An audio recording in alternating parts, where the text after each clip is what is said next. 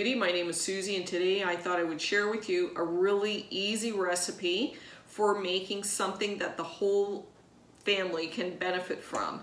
And that is Poo-Pourri. And Poo-Pourri is a spray deodorant. Actually, it's an odor blocker for your toilet bowl or your commode or your throne.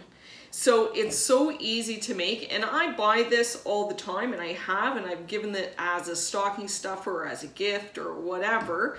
Um, and these are, uh, they're quite expensive. They're also very, very strong in terms of the fragrance. And I find it a little bit too strong for my liking. So I thought I'd figure out how to make it. And I came across this recipe. I know that there's a lot of recipes out there. Everybody puts their own special ingredients or flavor on it, but the recipe that I'm using today was the most common recipe that I found consistently on the websites of uh, retailers for essential oils. And the essential oils are what is giving our spray its, uh, not only its fragrance, but it's actually, the oil is creating the blocker or the film on top of the water that actually blocks any odors that are below the water, which is where you want the odors to stay. So I figured if the retailers of the essential oils are posting recipes, they have to work because obviously they want you to buy their products. So this is the recipe. It's very easy. You can make either a four ounce bottle or a two ounce bottle. This lasts quite a while. The two ounce bottle is really practical because you can carry it in your purse in case you would like to travel with it. And the four ounce bottle is great for at home because it lasts longer, more people can use it. So let's get started on the recipe. We need four things.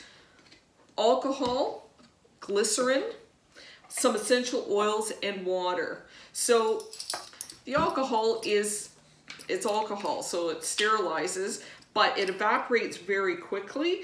And I'm thinking that in this recipe, it's going to help um, with the evaporation of the fragrance of the oils that we're using. So you need three tablespoons of alcohol. One, two, three tablespoons of alcohol.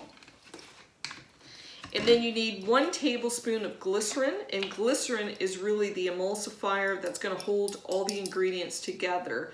Because oil and water repel each other, the glycerin creates, like I said, an emulsification that helps to keep all those little bits of the essential oil distributed through the solution. So when you spray it, you're spraying it um, evenly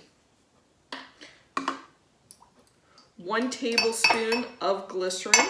And you can buy glycerin and alcohol at your local drugstore. And then to this, because I'm making four ounces, I'm going to add, I'm going to add enough water, just a little bit shy of four ounces. And I'm just going to mix this together. And I want to, I'm going to pour this in my bottle because it just makes it easier uh, using a measuring cup. But when it comes to the essential oils, because I don't want them sticking to my cup, I don't want to lose any of the essential oils, so I'm going to put the essential oils directly in here. Now for a four ounce bottle, it's recommended you can use anywhere between 20 and 40 drops of essential oils, fragrance that you like. Today I'm going to be using, um, I love lemongrass and this is, uh, it's like bitter orange, citrus orange and the lemongrass. The, uh, I love the combination and I know we can use 20 to, to 40 drops. I'm gonna use 30 drops and see if that's enough. Using 30 drops of essential oils because for me that's enough fragrance for the um, the bathroom. So 15 drops of the orange.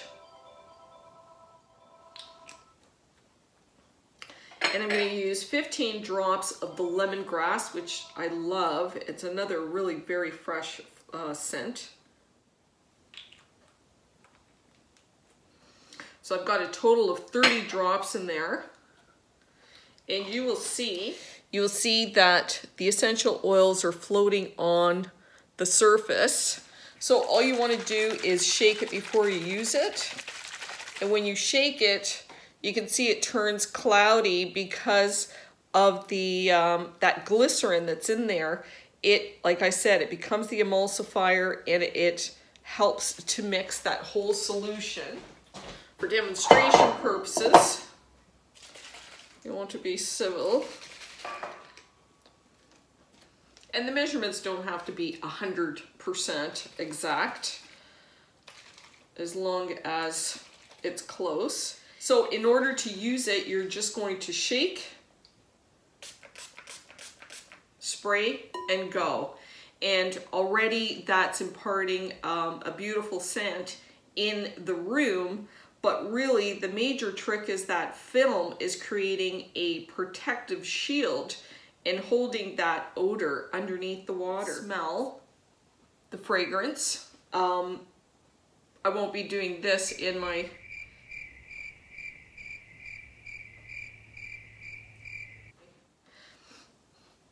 So you can definitely smell the fragrance. The fragrance evaporates, but so it works really, really well.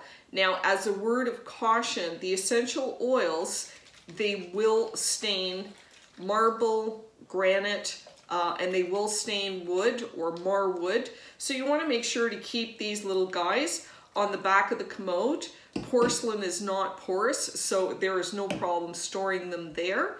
And the other um, just little tip is that the essential oils are, they do perish quicker if they're exposed to sunlight or they use they lose their effectiveness if they are exposed to a lot of light. So usually that's why essential oils, they always come in these dark little glass bottles. If you can get glass bottles that are dark, that is the best. I could only find these little plastic ones. But if you can only use the plastic ones, then make sure that you've got or make a label with your printer and your computer that covers the little bottle all the way around. Another reason for having a label on this is because you don't want someone going into your bathroom and mistaking this for something else and spraying it in their face or getting in their eyes because obviously it's not meant for that purpose. So I've just made up some labels on my computer just kind of indicating what to do and I've just written down spray then go with a little toilet and I think um, that everybody will understand to use the spray before you actually use um, the commode.